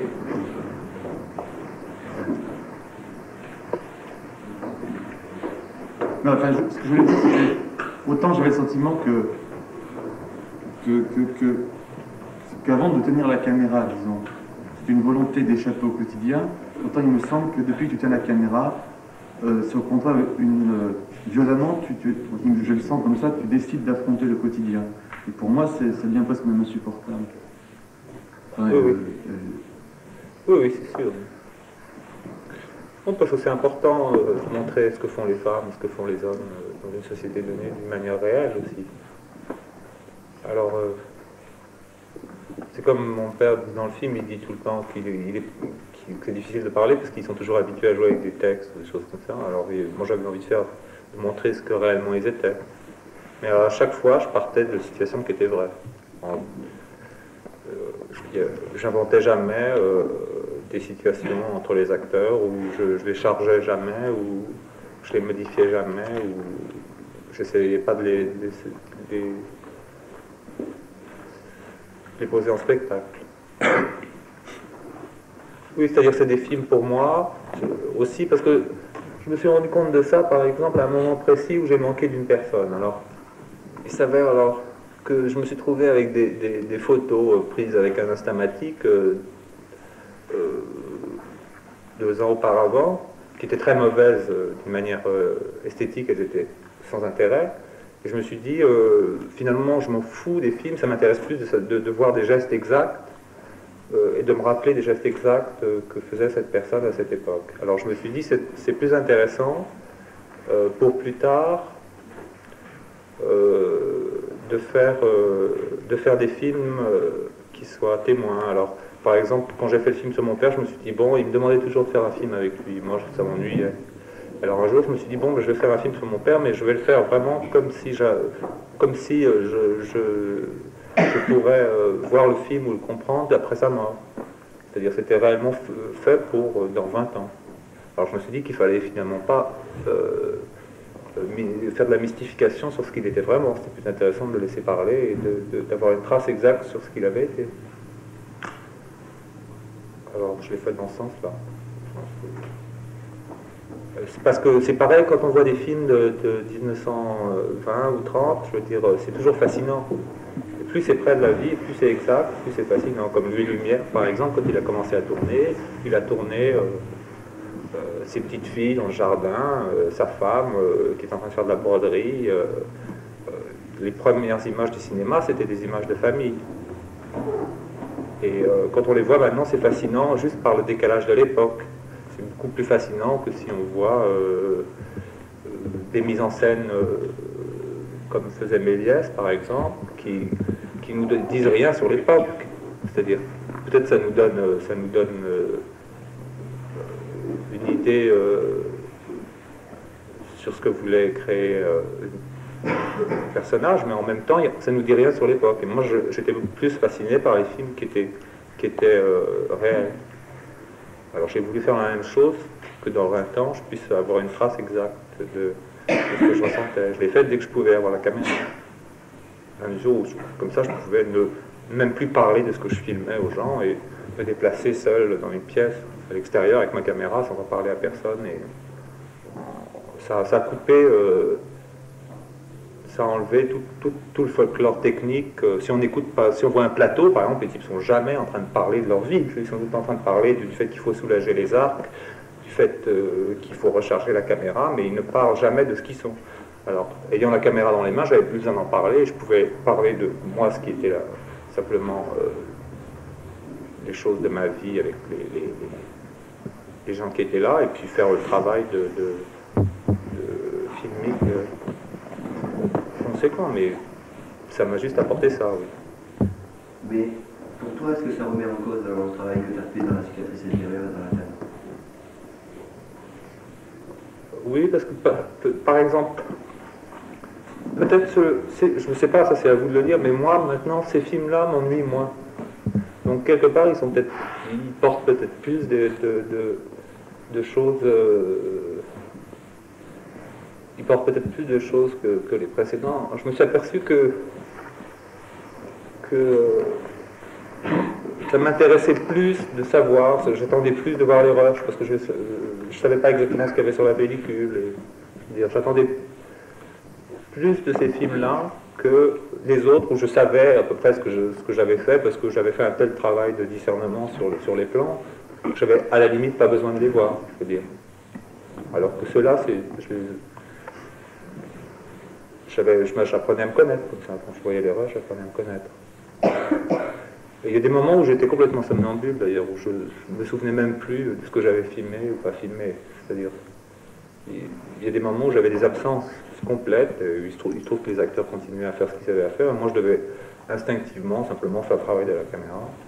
Et après, je découvrais au rush qu'il y avait tel et tel plan, et j'aurais été bien capable de dire si c'était moi qui l'avais fait ou quelqu'un d'autre, dans la mesure où il y en avait beaucoup. Dans, dans peu de temps que, du tournage, il y avait beaucoup de plans faits.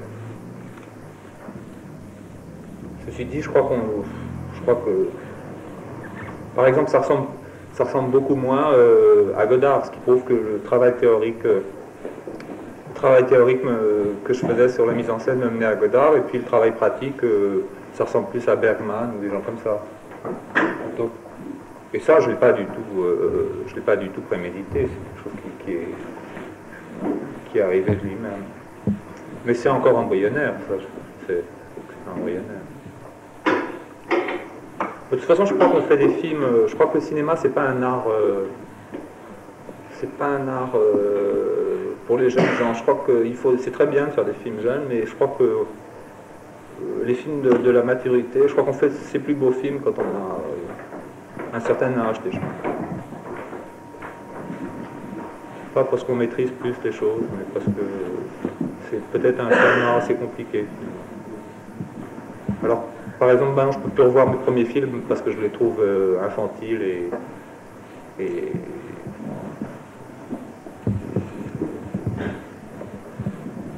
j'ai l'impression de, de- de- voir euh, euh, quelque chose qui est pas. j'ai l'impression de voir un Édipe pas franchi, comme on dit. Ceci dit, peut-être dans quelques années, ceux-là, hum, qui sont plus près de, de- de- mon père, peut-être aussi, euh, je, je verrai quelque chose d'une relation au père pas, pas, franchie non plus, peut-être. Enfin, comme, euh, comme mon père, c'est la seule personne dont je suis resté proche dans ma famille, parce que c'est le seul qui a, qui a tenu jusqu'au bout euh, pour être artiste. Tous les autres ont commencé comme ça, puis ont décroché au bout d'un moment. Alors je suis resté près de lui, simplement. J'ai effectivement été relativement influencé par lui, mesure où c'était la seule personne que je voyais de ma famille. Alors peut-être que ça, je ne supporterai pas ça dans, quelques années.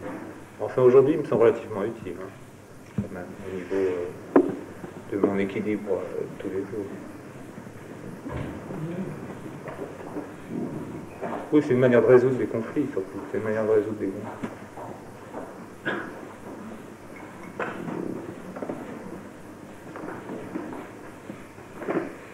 Comme. euh, oui, c'est ma- c'est- du cinéma. euh, comme par exemple, si dans le film on parle de la psychanalyse, c'est du cinéma qui est. C'est effectivement peut-être du cinéma de séminaire, mais quelque part c'est très utile pour un certain nombre de personnes. Alors, faut, faut que ça soit vu comme ça.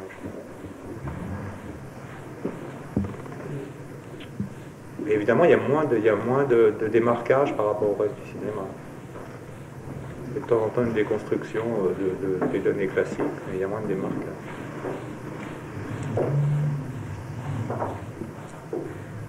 Ça fait penser à un film, par exemple.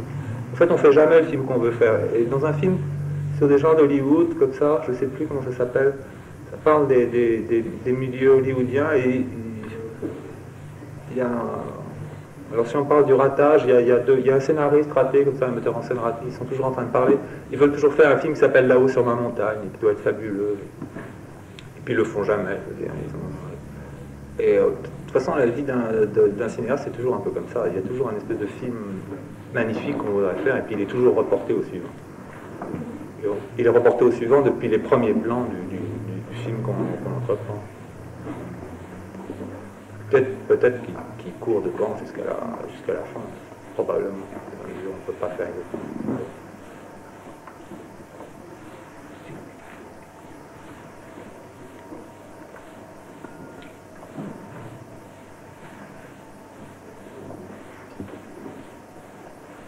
Est-ce que tu pourrais, enfin, je ne sais pas si c'est possible, préciser, disons, euh, les qu'il y a notamment euh, euh,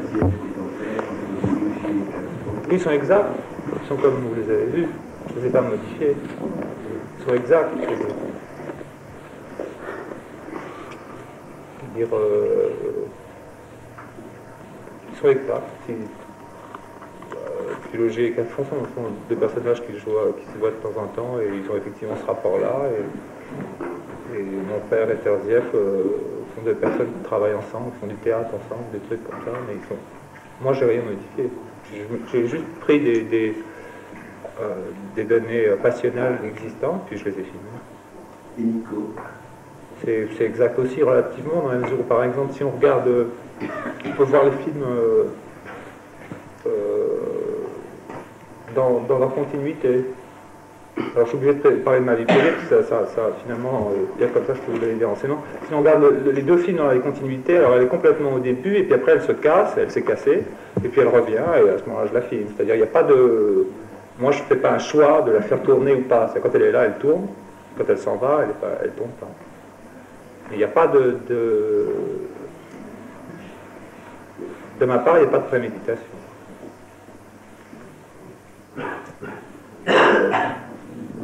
Le travail avec Seaberg, c'était euh, plutôt par rapport à Godard, parce que quand je l'ai rencontré, euh, comme on a parlé de Godard tout de suite, euh, je trouvais intéressant que, d'essayer de faire un travail de, qui échappe à souffle, à mesure où c'était quand même très présent sur le tournage. Puis elle, elle, fait, elle, est, passionnée par l'acteur studio, par exemple.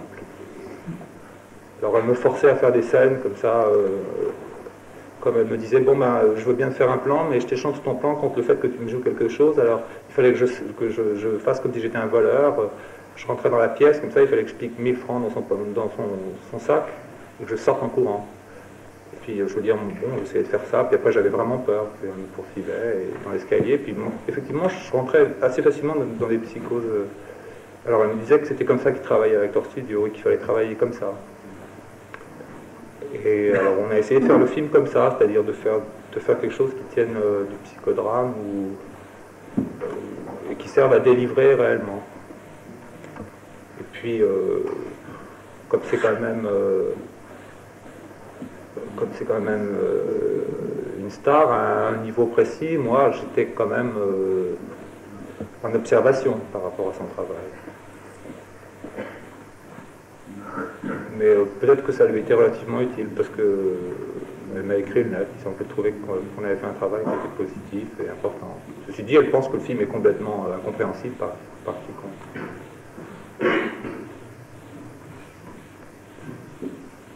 Non, de Sibach, je suis plus loin, plus loin de, que de, de mon père évidemment, de Calcium, qui sont des gens que je vois tous les jours. Vous avez eu les moyens de faire une bande de son pour les solitude, tu l'aurais fait? Oui, oui, sans doute. Oui.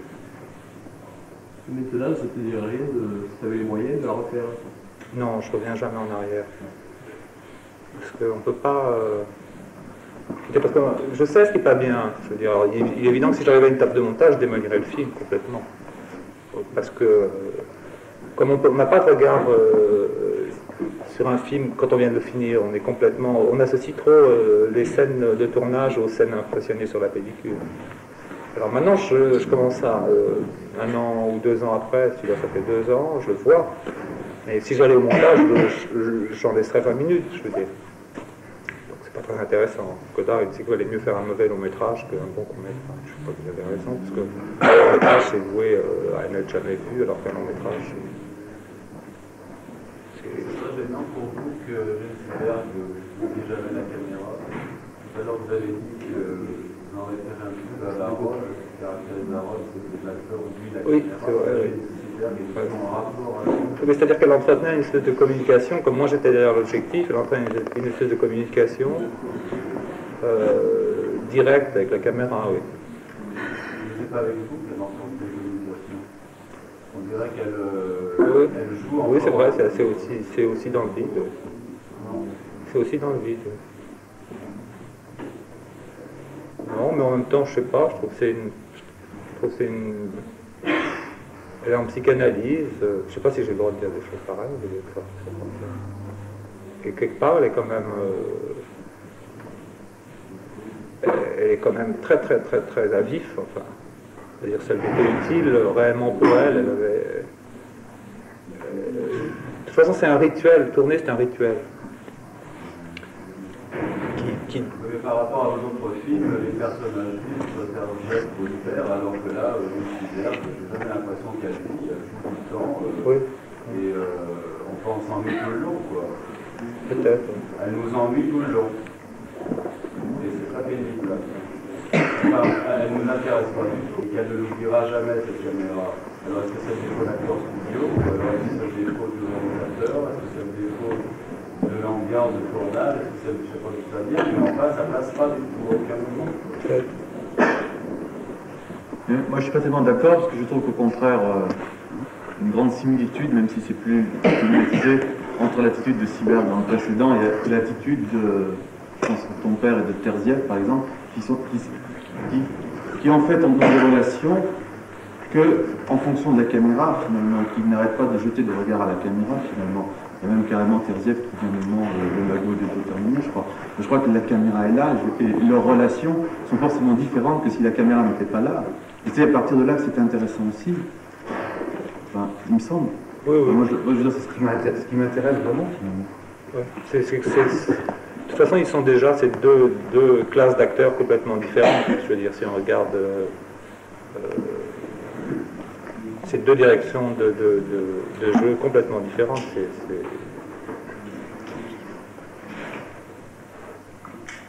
Non, mais par exemple, Cyber, il y a des moments où, elle joue la mère, par exemple, où ça me paraissait. euh, ça, me paraissait euh, manger. Non, peut-être je me trompe.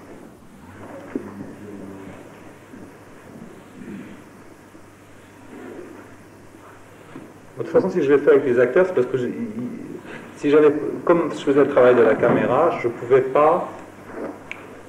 euh, ça, en plus, il fallait travailler vite. euh, je ne pouvais pas euh, prendre mes amis. Il y a beaucoup de gens que j'ai envie de, de faire tourner ou que j'ai envie de filmer simplement, sans, sans les déranger. Euh, il y a beaucoup de gens, mais il s'avère que c'est beaucoup plus difficile de travailler avec des gens qui ne sont pas tout le temps devant une caméra. D'abord parce qu'ils n'ont pas euh, le souffle nécessaire pour faire un long métrage, parce que c'est finalement un long métrage, il faut, euh, il faut vraiment porter euh, son jeu très très loin dans la durée. Il faut, euh, alors généralement, euh, les acteurs qui ne sont pas professionnels euh, s'essoufflent très vite et tombent sur, euh, se montent en boucle euh, leur- leurs attitudes. Et puis en plus, on est, on est obligé de refaire des prises. euh, je le vois parce que j'ai déjà fait des films avec, des gens simplement qui étaient mes amis. euh, c'est beaucoup plus compliqué de travailler avec eux. Il faut refaire plusieurs prises, il faut les rassurer tout le temps. euh, ils ont tout le temps des problèmes de, de contenance ou d'inhibition.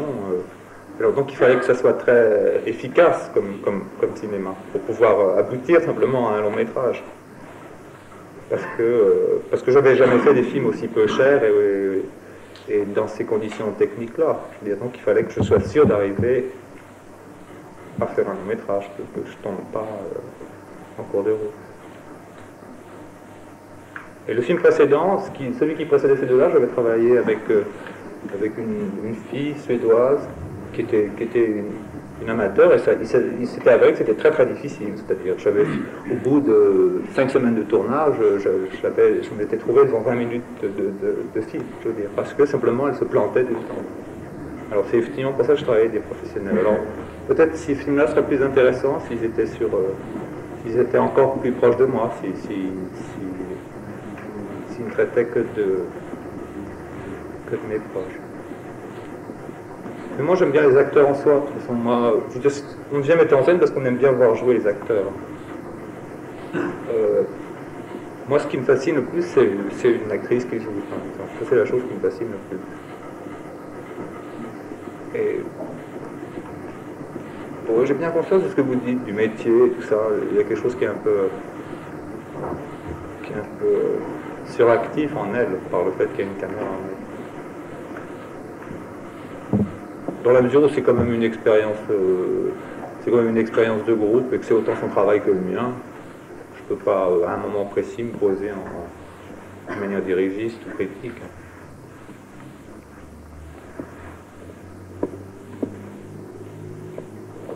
Enfin, de toute façon, je veux dire, moi, j'ai- jamais échappé à l'ennui. Ça, c'est c'est ce qui rapproche tous mes films, c'est qu'effectivement ils sont. euh, il y a un artiste qui disait que c'était de toute façon, c'était uniquement ça d'être artiste, c'était de savoir distiller de l'ennui avec, euh, avec sa voix. Mais moi, j'ai jamais essayé d'échapper à ça.